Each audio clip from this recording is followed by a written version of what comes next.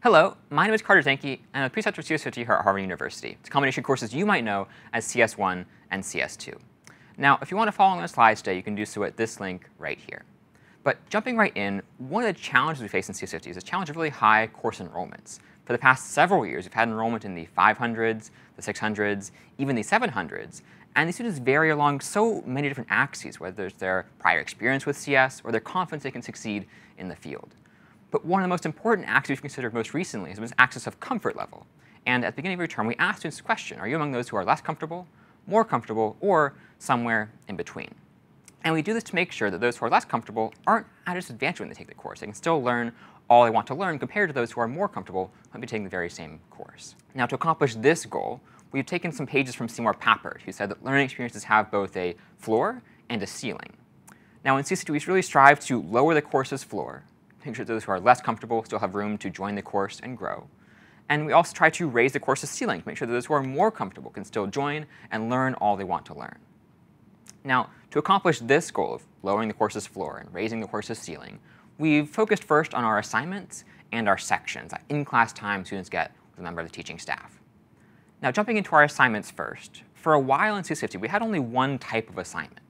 But more recently, we've tried to have more than one variation on the same assignments. Maybe a variation for those who are more comfortable and a variation for those who are less comfortable. And importantly, whether a student is feeling more comfortable or less comfortable on a given week, they can attempt either problem for equal weight in their grade.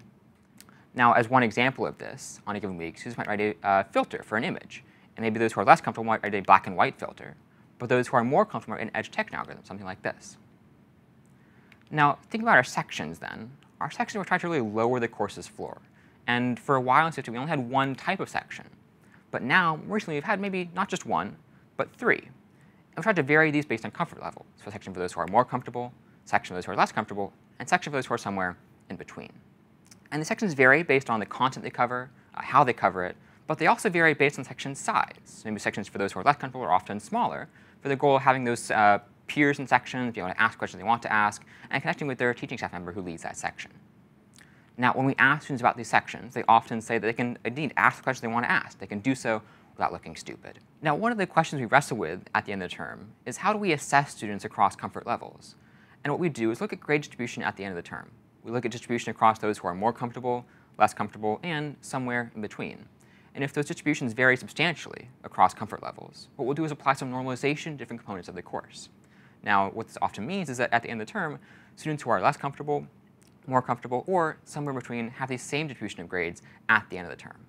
Now, this then is how we differentiate for comfort with computer science. My name is Carter Zenke. Please reach out to us with questions you might have.